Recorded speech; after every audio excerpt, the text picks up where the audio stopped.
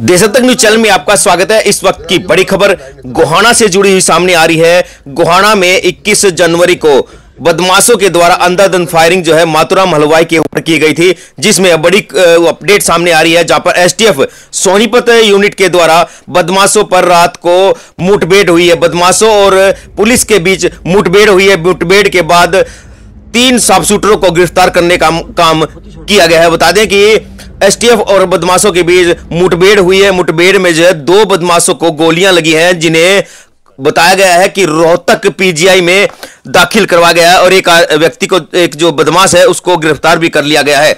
बता दें कि हरियाणा में एक्टिव तीन गैंगों के तीन साफ़ शूटरों को पुलिस ने मुठभेड़ के बाद गिरफ़्तार कर लिया गया है। दो साफ़ शूटरों को मुठभेड़ में गोली लगी है। साफ़ शूटर एक पकड़ा भी गया है। बता दें कि गोहाना में पिछले दिनों 21 जनवरी को दुकान के बाहर, दुकान के ऊपर पुरानी अनाज मंडी में अंधाधुंध फायरिंग करने के मामले में पहले ही गोहाना पुलिस ने तीन जो बदमाश हैं, उनको गिरफ़्तार कर लिया गया था और देर रात, लगभग देर रात बताया गया है कि तीन साफ़ सूटरों पर जो है जो साफ़ सुथरा और एसटीएफ के बीच में मुठभेड़ हुई है। मुठभेड़ में जो है, दो बदमाशों को गोली लगी है और एक बदमाश को पुलिस ने गिरफ़्तार भी कर लिया गया है। और साफ़ सुथरों में साजिद जो कि हिसार का रहने वाला है और इसके अलावा सौरभ जो कि फरीदपुर, फरीदाबाद का रहने वाला है, उन दोनों को जो है, गोली लगी है। और जतिन जो कि जाखोली झज्जर का रहने वाला है, उसको गिरफ़्तार कर लिया गया है। साफ़ शूटर साजिद और सौरभ को लगी गोली, दोनों को जो है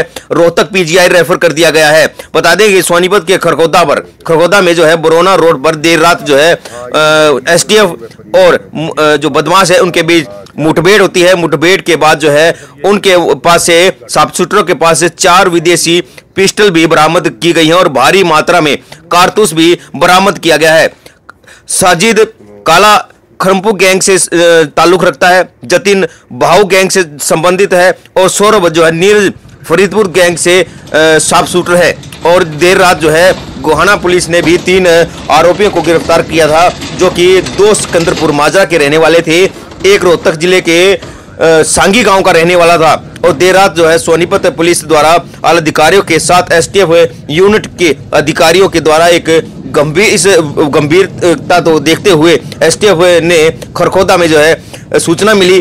सूचना मिलने के बाद तुरंत जो है, पुलिस एक्शन में आई और वहाँ पर पहुँची और गुप्त सूचना के आधार पर जो है ये कार्रवाई की गई। उसके बाद जो है, बदमाशों ने पुलिस के ऊपर जो है, फायरिंग की गई। फायरिंग के बाद जो है, पुलिस ने अपने बचाव में जो है बदमाशों के ऊपर गोलियाँ दागी गई, जिसमें दो बदमाशों को जो है गोली लगी है, उन्हें गंभीर हालात में जो है, रोहतक पीजीआई रेफर कर दिया गया है। अब जो है, उनका इलाज रोहतक में, दो बदमाशों का रोहतक में इलाज चल रहा है। और एक बदमाश को जो है, उस गिरफ़्तार भी कर लिया है। जतिन निवासी जो कि जाखोली झज्जर का रहने वाला है, उसे गिरफ़्तार कर दिया गया है। और दो बदमाशों को गोली लगी है। इसके अलावा गोहाना में भी कल तीन जो बदमाश हैं, उनको गिरफ़्तार कर लिया गया था, जिसमें दो जो व्यक्ति हैं, वो गोहाना के गाँव सिकंदरपुर माजरा के रहने वाले थे।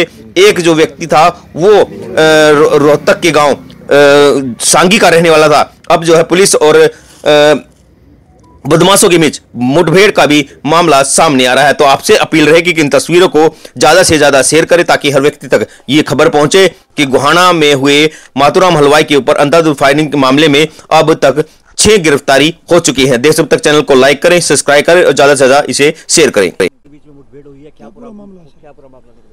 ये हमारी एसटीएफ की टीम जो गोहाना में वारदात हुई थी उसकी तलाश में जो ना इधर खरखोदा थाने से इधर अपना वो इसकी इन्फॉर्मेशन थी।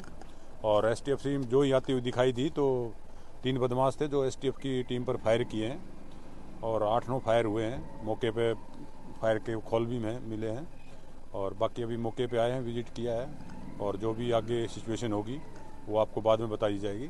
और फुल इसके बारे में जो है वो एसटीएफ बता सकते हैं। बरामद भी हुआ सर कोई? हाँ एसटीएफ से अब एसटीएफ बता रही है कि भाई बरामद हुआ है ये पिस्टल मिले हैं और बाकी सारा एसटीएफ बताएगी भी कौन कहाँ से कैसे पीछे लगे थे ये कैसी कहाँ क्या क्या नाम क्या क्या चला प्राथमिक जाँच में? हाँ ये अभी तो, ये है एक तो साजिद है और एक जतिन है और एक सौरभ है। ये तीन अक्यूज हैं सर गोली भी लगी है क्या किसी बदमाश को? हाँ अभी हॉस्पिटल में है वो अंडर ट्रीटमेंट है। अभी आपको बताएँगे बाद में बता देंगे जो भी सिचुएशन होगी। Thank you sir thank you sir